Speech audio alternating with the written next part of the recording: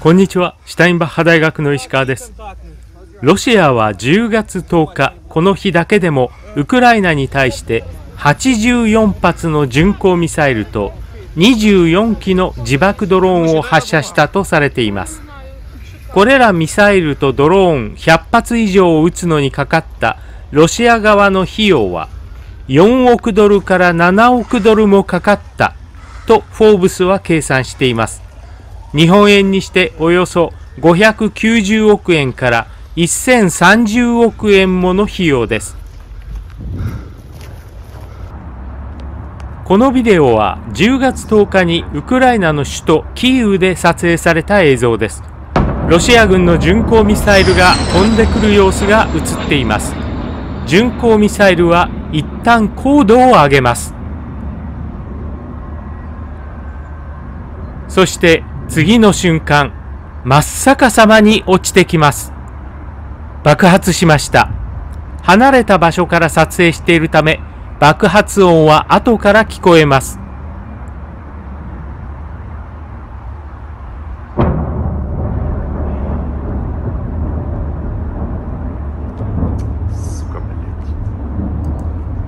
ロシア軍は10月10日夕方までにウクライナに対して84発の巡航ミサイルと24機の自爆ドローンを発射しました。プーチン大統領がクリミア大橋爆発崩落の復讐のためにウクライナへの大量のミサイル発射を命じたとされています。アメリカのメディアフォーブスはこれだけ大量のミサイルをロシアがウクライナに撃ち込むのにいくらかかったかを積算しました。その見積もりの結果は、これらミサイルとドローン計100発以上を撃つのにかかったロシア側の費用は4億ドルから7億ドルという見積もりになりました。日本円にするとおよそ590億円から1030億円もの費用がかかったことになります。7億ドル。この金額で思い浮かぶものがありました。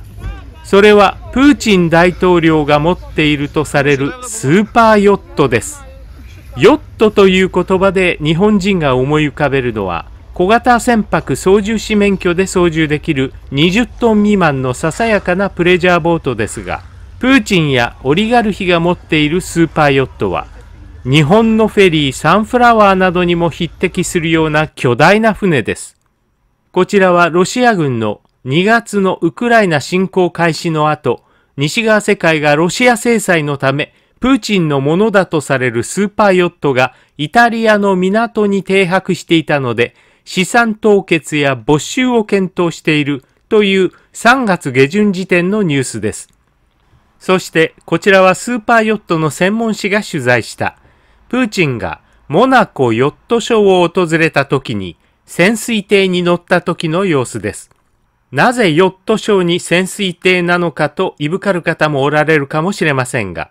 スーパーヨットにこうした潜水艇や小型高速艇は付き物だと言います。つまりスーパーヨットにはしばしばこうした小型艇が搭載されているということです。プーチン大統領はご満悦のようです。プーチンのものとされるスーパーヨットの値段は7億ドル。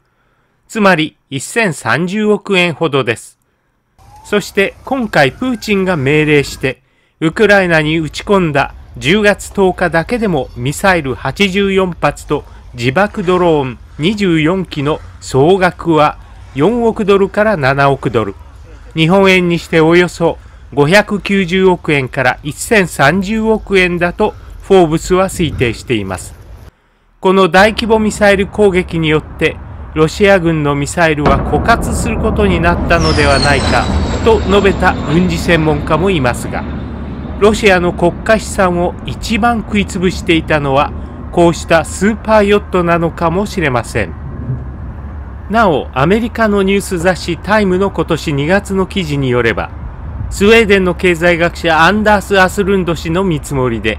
ウラジーミル・プーチンの実際の資産は1000億ドルから1300億ドルの間とされ、日本円に換算すると、プーチンの資産はおよそ14兆円から19兆円の間ということになります。